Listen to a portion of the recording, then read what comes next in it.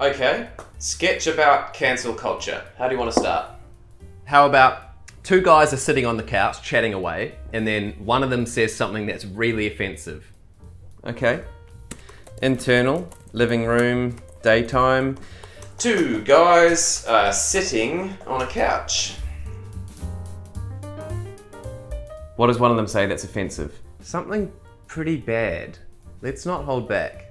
Yeah, I don't know. We want to be careful. No, but we're challenging cancel culture. We're not submitting to it. Yeah, but we don't want to be genuinely offensive. Okay, so what then? Hmm.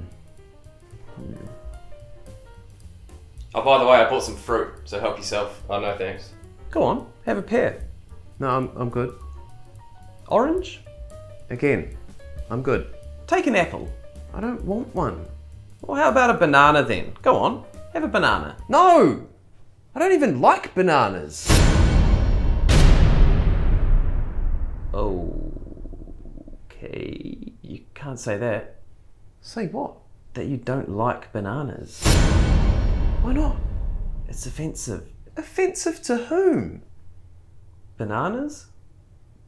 You're worried I'm going to offend a banana. You're just as bad as the rest of them. Just watch what you say, that's all. You can't be too careful. Yes, you can. Being too careful is worrying about offending a piece of fruit. You don't seriously. To be honest, mate, it is quite hurtful. Sorry, what? What you said, it has an impact. Some of us are bananas. I mean, I didn't. What do you got against bananas? Are you a banana? I hadn't even noticed. I'm clearly a banana. Well, now that you point it out, yeah, I, I can see it with the with the yellow and the, the curvature. Let me guess. You had a banana once, didn't like it. Now you decided you don't like all bananas. Well, I mean, I've had a few, but yeah, that's generally how it works with food. And you don't see any problem with that. In some contexts, I would, but this is different Different how? because you are all fundamentally the same. We are all very similar, Greg. He's got a point. Shut up! You're not helping. Well, who made you the spokesperson for all bananas? Oh, great, now you've turned the bananas against each other. Oh.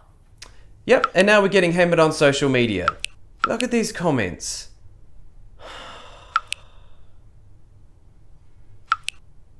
I told you to be careful. Oh, shut up, you stupid c.